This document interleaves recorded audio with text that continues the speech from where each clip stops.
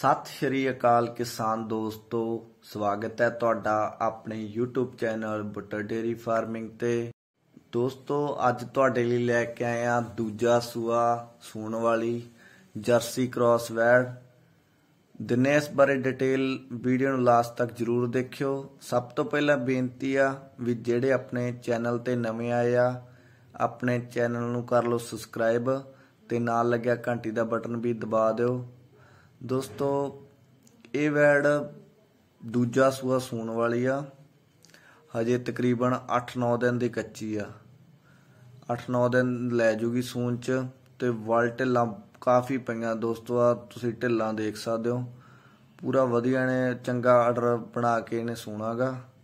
ਥਣਾ ਥੁਣਾ ਦੀ ਪੂਰੀ ਚੰਗੀ ਆ, ਪੂਰਾ ਮੁੱਠੀ ਵਾਲਾ ਥਣ ਲੱਗਿਆ ਦੋਸਤੋ। ਤੇ ਰੰਗ ਵਨ ਤੁਸੀਂ ਦੇਖ ਸਕਦੇ ਹੋ।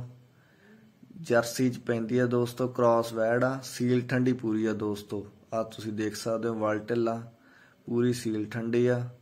ਥਣਾ ਥੁਣਾ ਦਾ ਸਾਈਜ਼ ਪੂਰਾ ਵਧੀਆ ਦੋਸਤੋ। ਗਰਮੀਆਂ ਦਾ ਦੋਸਤੋ, ਤੋਹਫਾ ਹੀ ਆ ਇੱਕ, ਗਰਮੀ ਗਰਮੀ ਇਹੋ ਜੀਆਂ ਵੈੜਾਂ ਨਹੀਂ ਜ਼ਿਆਦਾ ਵਿਕਣਾ ਹੁੰਦਾ। ਇਹ ਕ੍ਰਾਸ ਵੈੜ ਆ ਕੀ ਕ੍ਰਾਸ ਵੈੜ ਚ ਪੈਂਦੀ ਆ ਦੁੱਧ ਦੇਣੇ ਦੋਸਤੋ। ਮਾਲਕਾਂ ਦੇ ਦੱਸਣ ਮੁਤਾਬਕ ਪਹਿਲੇ ਸੂਏ ਤਕਰੀਬਨ 15-16 ਲੀਟਰ ਦੁੱਧ ਪਾਇਆਗਾ।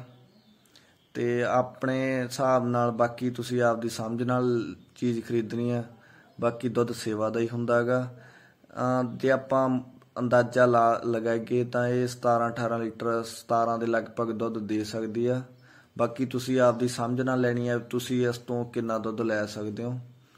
ਬਾਕੀ ਸੀਲ ਠੰਡੀ ਪੂਰੀ ਆ ਦੋਸਤੋ, ਦੂਜਾ ਸੂਆ। ਦੂਜਾ ਸੂਆ ਸੂਣ ਵਾਲੀ ਆ।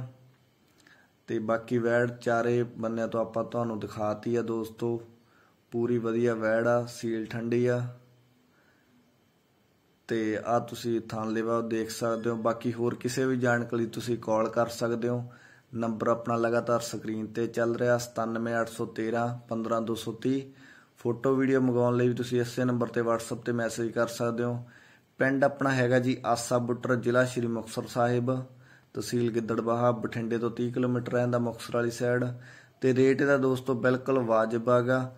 ਤੁਸੀਂ ਕਾਲ ਕਰ ਸਕਦੇ ਹੋ ਕਾਲ ਤੇ ਆਪਾਂ ਰੇਟ ਦੀ ਗੱਲਬਾਤ ਕਰ ਸਕਦੇ ਹੋ। ਸਾਰੇ ਵੀਰਾਂ ਦਾ ਧੰਨਵਾਦ।